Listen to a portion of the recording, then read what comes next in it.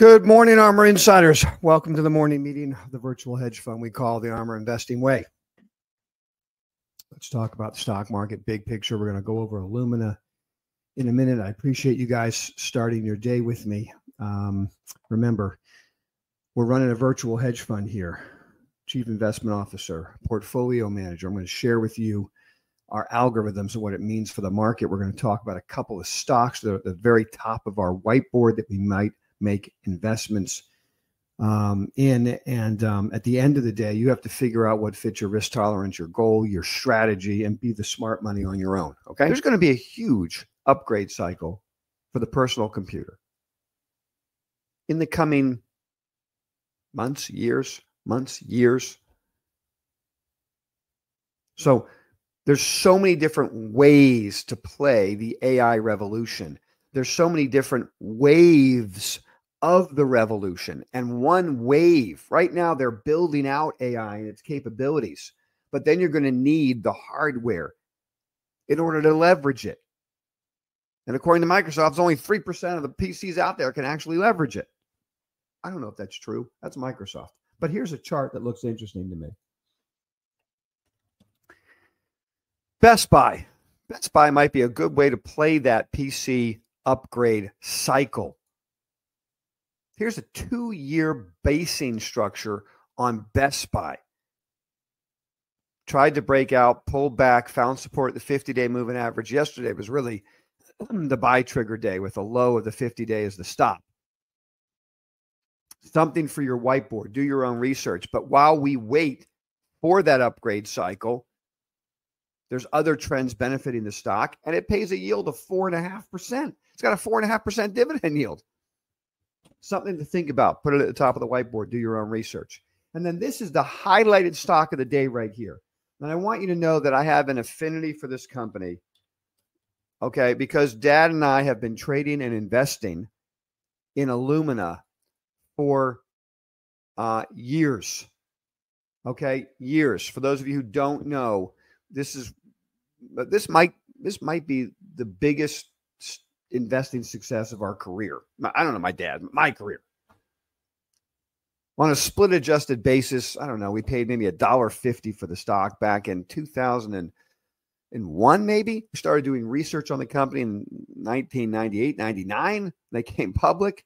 They'd only sold about eight units into the into the into the world research centers. They were gene sequencing before, you know, before anyone knew what that really meant. Then it took off it's a Gillette Xerox type of business model. They sell the sequencers and then they make the money on the consumables. Sequencers might carry a 50% margin, consumables 90%, right? So there's the business. Hockey stick, boom, explosion. They go through upgrade cycles. When they upgrade to the next sequencer type of product, business comes down, stock comes down.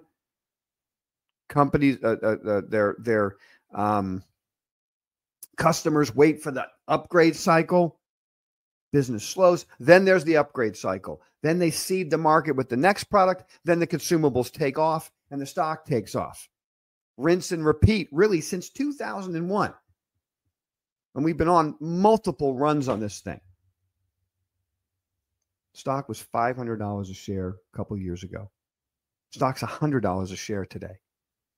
Two reasons. One, they've gone through one of those downturns in their cycle, waiting for the next version. Okay. That's normal.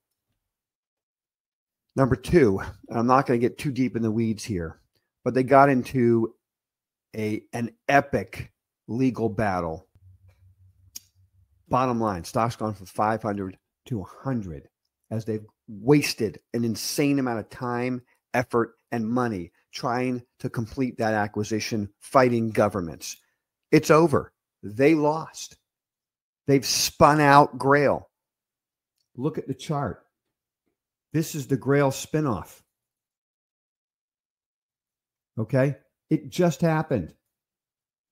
Grail spinoff, this big volume spike right here. This is Grail. Okay? There's the chart pattern. This is a bottoming wedge spinoff complete.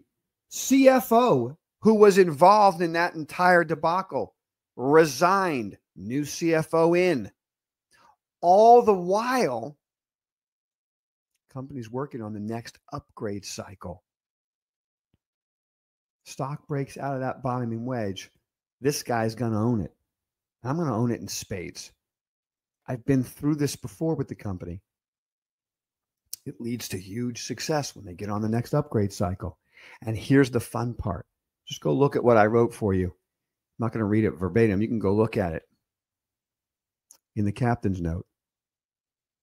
Let's sprinkle a little AI fairy dust on the stock. Want to?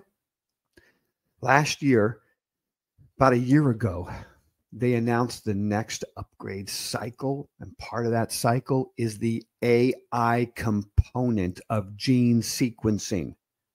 It's coming. They announced it a year ago. They go through the cycle. Then they start upgrading. Then we're going to go through the hockey stick of consumables. You can go look at the story. You can go Google it. You'll see the story. This is an AI story of the number one gene sequencing company in the world. Stock is utterly depressed.